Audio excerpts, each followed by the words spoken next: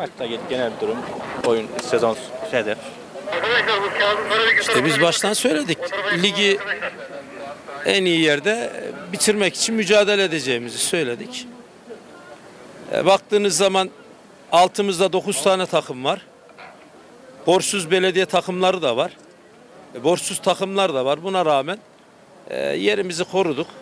Rakip defans yaptı. Yani kontrataklarla sonuca gitmek istedi. E, bir bir berabere kaldık.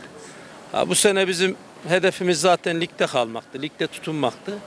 E, onu da başardık. Bu, bir sürü de borç ödedik. Bizim olmayan borçları da ödedik. Yani e, bir sıkıntımız yok şu anda. Yani Ankara gücünün bana göre hedefimizi tutturduk diyebiliriz. En azından ligde kaldık yani. Ligde kaldık derken üst sıralardayız. Son zamanda FIFA borçları canımızı sıkıyordu. Son durum nedir başkanım? Şimdi tabii bizim e, bu kadar 30-35 tane FIFA borcu, onun haricinde yüzlerce yerli futbolcu, teknik direktör bunların bu parasını ödemeye bizim gücümüz yetmez. E, Camiayı görüyorsunuz. Onlar da anca bilet alabiliyor. Onun haricinde de yardım edecek kimse de yok. E, dolayısıyla ben burada futbolcularımızı, teknik heyetimizi kutluyorum. Taraftar sabır etmeliydi. Onlar da sabır gösterdiler.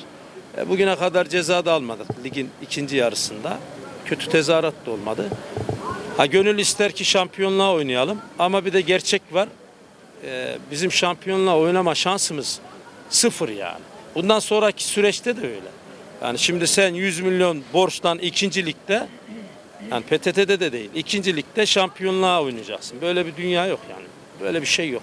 Onun için e, çocuklar güzel mücadele ediyorlar. Dediğim gibi altımıza baktığınız zaman 9 tane takım var. Bunların hepsi de belediye desteği görüyor. Şehirlerinde belediyelerinden destek görüyor. Tam bizimki tam ters gidiyor. Yani e, baktığınız zaman şimdi diğer takımlara e, Buksaş borcu var mı yok. Kaçıncı sırada? Hani bizim taraftarlarımız e, bana göre e, bu çocukları alkışlamalı. Ben alkışlıyorum.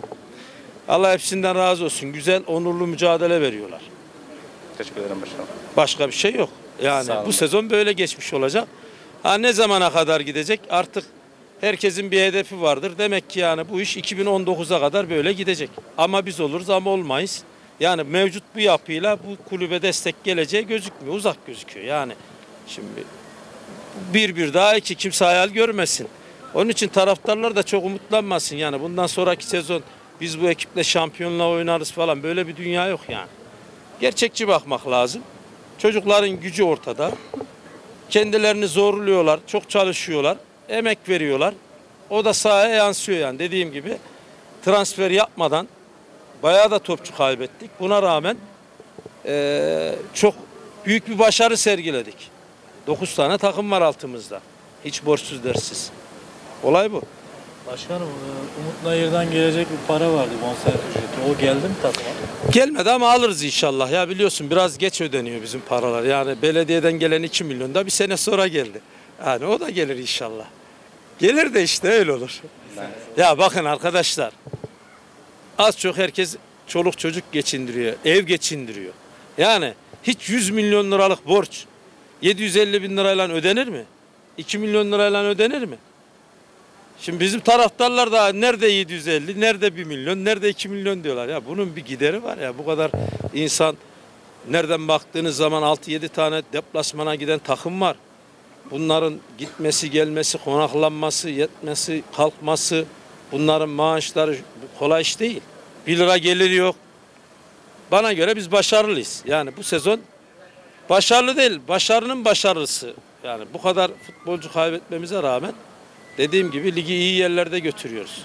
Maçın ardından bir protokol tribünde gerginlik oldu. Onun sebebi neydi? Bak görev Ya onun sebebi de şu e, son dakika işte penaltılarına verilmediğini iddia eden birkaç taraftarı yönetici diye sokmuşlar oraya. Onlar bağırdı yani olmayacak işler yani oraya protokola gelen insanlar e, biraz daha sabırlı davranmalı veyahut da üsluplu davranmalı. Oradan yani sen ta protokoldan sahanın hakimine bağırırsan bu iş olmaz yani bu iş yürümez.